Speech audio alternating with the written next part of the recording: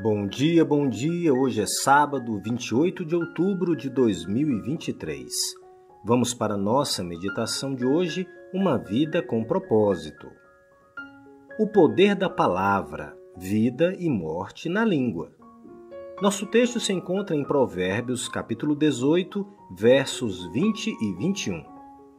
Do fruto da boca o coração se farta, do que produzem os lábios ele se satisfaz. A morte e a vida estão no poder da língua. Quem bem a utiliza, come do seu fruto.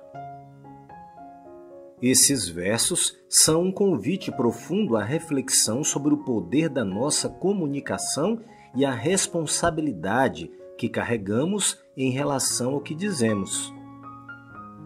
Deus nos dotou do dom da fala. Com a boca proferimos bênçãos ou maldições. Com ela, todos os dias, falamos, nos comunicamos, louvamos ao Senhor, cantamos, temos muitas coisas a fazer, porque temos o dom da fala.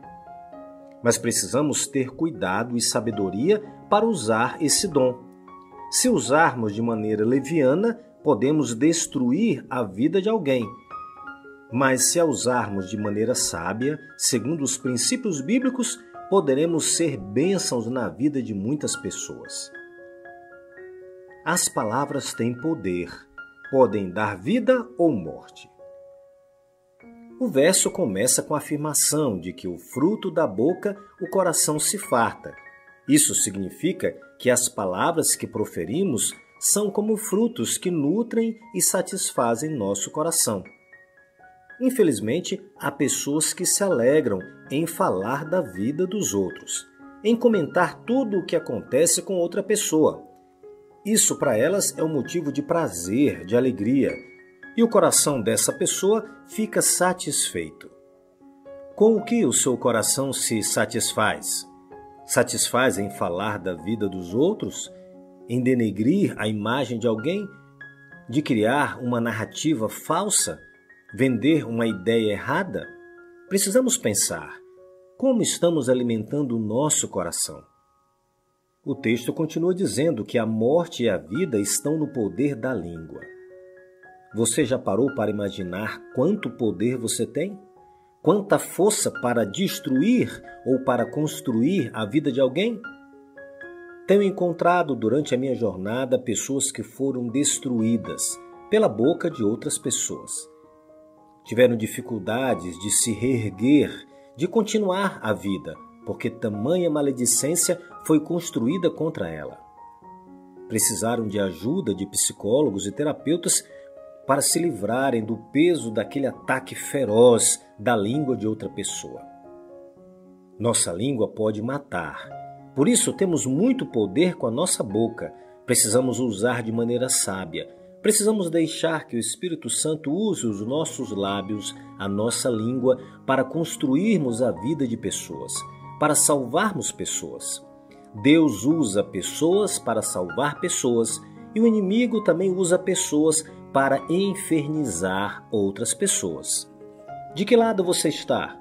Você está sendo uma arma nas mãos de quem? Nas mãos de Deus ou nas mãos do inimigo? Essa é uma reflexão que precisamos fazer todos os dias da nossa vida. Nos envolvemos muito, às vezes, nos falatórios que, quando menos percebemos, estamos denegrindo a imagem de alguém. Se não temos nada positivo a dizer, temos que aproveitar essa oportunidade para não falarmos nada.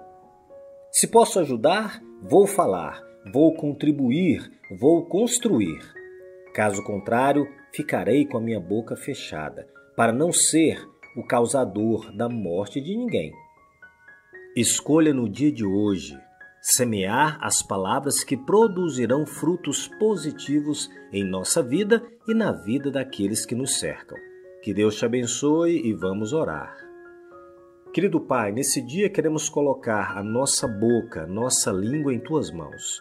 Que o Senhor possa nos usar para a honra e glória do teu nome, para construirmos a vida de pessoas pelas quais o Senhor derramou sangue na cruz do Calvário que sejamos uma ferramenta poderosa em tuas mãos para salvar, para construir e não destruir. Fique conosco nesse dia e sempre, em nome de Jesus. Amém. Mais uma vez, obrigado pela sua companhia. Se gostou da mensagem, é só deixar o like. Sou Marcos Magalhães, um grande abraço, fica na paz e te vejo amanhã.